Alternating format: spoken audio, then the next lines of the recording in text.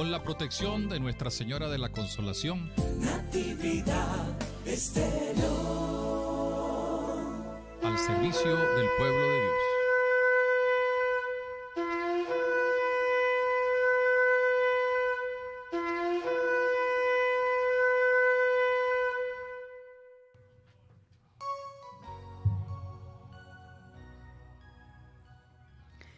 Nuestra Señora de Coromoto ruega por todos nosotros que recurrimos a ti. Con ustedes bajo la bendición del Dios de Israel, con la protección del Espíritu Santo y la dirección de la Administradora Virgen María de Jerusalén, de la mano de nuestra Reina, la Reina de Venezuela, la patrona de nuestra tierra, nuestra Venezuela querida. A ella venimos a suplicarle nuestras intenciones, lo que tenemos en nuestro corazón, para que sea ella la que nos dé esa paz que tanto necesitamos y deseamos que reine en nuestra patria, en todos los rincones de Venezuela. Hoy hemos llegado al octavo día, ocho días llevamos de la mano de nuestra reina. Mañana la veneramos con mayor intensidad, con amor, con más fervor y devoción por ser ese día especial, pero siempre ella será nuestra reina, nuestra patrona, y siempre estaremos junto a ella para que ella nos cubra y nos proteja con su velo maternal. Ave María Purísima, sin pecado original concebida, por la señal de la Santa Cruz de nuestros enemigos, líbranos Señor Dios nuestro, en el nombre del Padre, del Hijo y del Espíritu Santo. Amén. Creo, Dios mío, que estoy en tu presencia, que me miras y escuchas mis oraciones. Tú eres infinitamente grande y santo. Yo te adoro. Tú me lo has dado todo. Yo te doy gracias.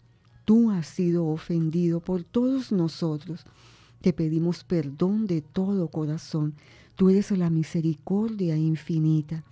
Te pedimos todas las gracias que consideres útiles para todos nosotros y para este pueblo de Venezuela.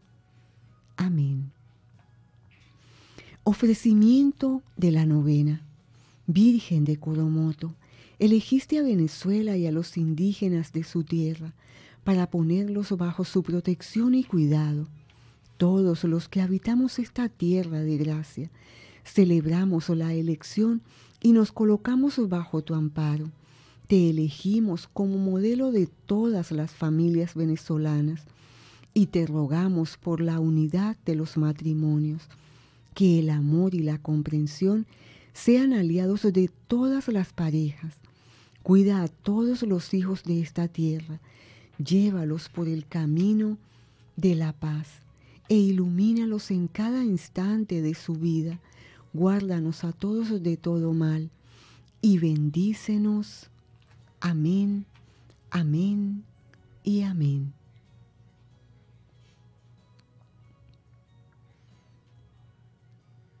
Te pedimos, Madre, por todas las mujeres de nuestro país, pues ellas en gran parte representan la belleza venezolana. Te pedimos, Madre, por todos los niños, ya que cada uno de ellos representa el futuro de Venezuela la semilla que da esperanza en los momentos difíciles. Te pedimos, Madre, por todos los hombres venezolanos, hombres luchadores y trabajadores, que son cabeza de tantas familias, para que a ejemplo de San José, esposo de la Virgen María, sean hombres ejemplares y santos. Te pedimos, Madre, por todas las autoridades civiles, militares y religiosas, para que les hagas comprender el bien común que deben lograr en todos para engrandecer la ética y la responsabilidad sincera en toda la ciudadanía. Te pedimos, Madre, por todo el territorio de Venezuela, consagrado al Santísimo Sacramento del altar, para que lo cuides y lo cubras con tu manto maternal. Y todos los venezolanos caminemos contigo siempre hacia el banquete del Padre y protegidos bajo tu velo maternal. Nuestra Señora de Coromoto, patrona de Venezuela, renueva la fe en toda la extensión de nuestra tierra. Amén. Octavo día de la novena a Nuestra Señora, a nuestra patrona de Venezuela, la Virgen de Coromoto, María vencedora de los miedos. Pero el ángel le dijo, no temas, María, porque has encontrado el favor de Dios. Durante un aspecto propio de la condición humana, el miedo con sus secuelas de angustia, de tristeza, depresión, debido a las diferentes situaciones que hemos pasado, el miedo se ha convertido en el estado fundamental del hombre moderno. Tenemos miedo a todo y a todos, a la vida, a la muerte, al pasado, al futuro y también al presente. Miedo a las responsabilidades, a los compromisos estables, al fracaso, a la guerra, a la paz, a la delincuencia, miedo al dinero, al poder, miedo a hacer amigos y miedo a perderlos, miedo a la soledad, a la incomunicación y al aislamiento, y un gran miedo a sí mismo y hasta la felicidad efímera e incapaz de llenarnos. Aquí nos preguntamos, ¿qué se puede hacer ante ese miedo tan generalizado y que sume tanta gente y la paraliza en su camino hacia la madurez y a la postre hacia Dios? Y a la vez, ¿qué tiene que ver la Virgen María en todo esto?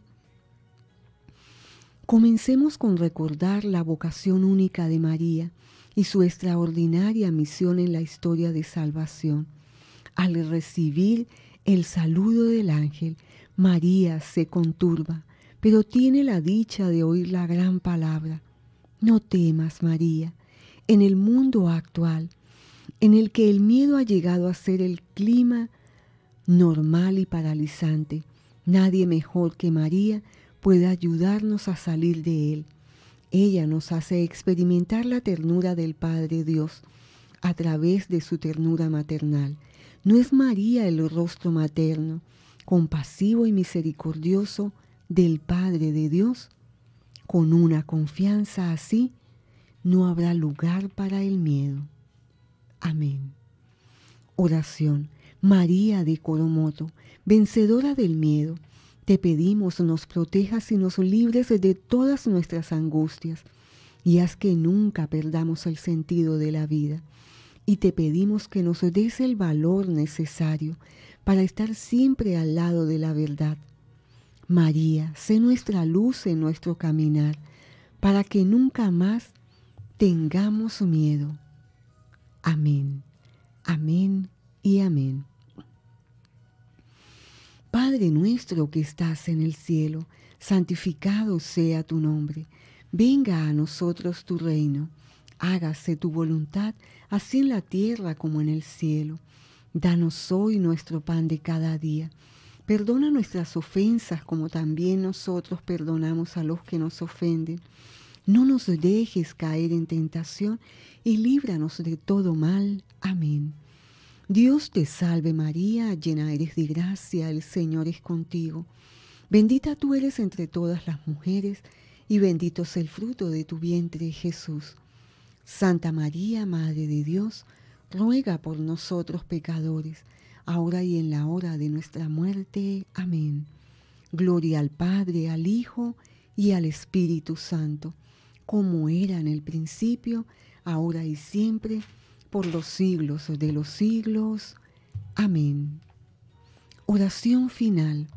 María, Madre Virgen de Coromonto, que apareciste con tu Hijo Salvador en brazos para sembrar ilusión y fe en nuestro pueblo. Ayúdanos a, a encontrar el camino de la verdad. Vuelve tus ojos hacia Venezuela. Oye la voz del niño con hambre, de la madre con el alma entristecida del hombre inconsciente de tu amor. Sometidos y humillados, caminan muchos hijos de este pueblo con los pies descalzos y cansados por cualquier camino sin destino. Dale valor a la promesa bautismal. Libera a este pueblo del Calvario. Bájalo de la cruz a la luz de la resurrección. Que tengamos valor y dignidad para construir con trabajo y esfuerzo un mejor país y el templo de tu amor. Muéstranos de nuevo tu rostro en tu Hijo Jesús. Amén. Querida y tierna Madre de Coromoto, ampáranos, cuida de nuestra inteligencia, de nuestro corazón, de nuestros sentidos, para que nunca cometamos pecado. Santifica nuestros pensamientos, afectos, palabras y acciones, para que te podamos agradar a ti y a Jesús y a Dios mío. Contigo y contigo lleguemos al paraíso. Jesús y María, dennos su santa bendición que la recibimos en el nombre del Padre, del Hijo y del Espíritu Santo. Amén. Nuestra Señora de Coromoto, patrona de Venezuela, renueva la fe en toda la extensión de nuestra patria. Amén. Bendiciones para todos. Los esperamos mañana para esa gran solemnidad, para celebrar con gozo y amor esa celebridad a nuestra patrona, a nuestra reina del cielo, nuestra Virgen de Coromoto. Amén.